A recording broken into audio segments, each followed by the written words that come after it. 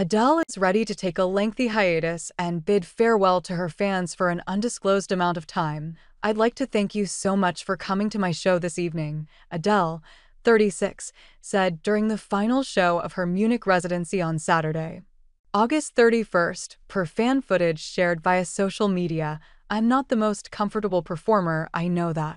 But I am very F, king good at it.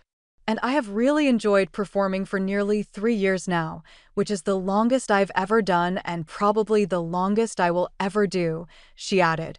Adele noted that she has 10 performances left for her Las Vegas residency.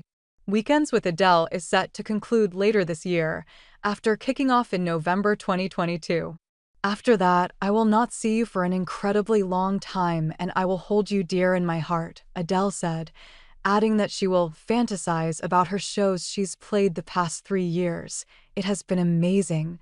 I just need a rest, she said while getting emotional. I have spent the last seven years building a new life for myself and I want to live it. I want to live my new life that I've been building. I will miss you terribly. Adele's plans to press pause on music comes amid her engagement to Rich Paul. The singer, who went public with their romance more than three years ago, confirmed their relationship status in August. After spotting a sign in the crowd of her show in Munich that month which read, Will you marry me? Adele replied, I can't marry you because I'm already getting married. So I can't.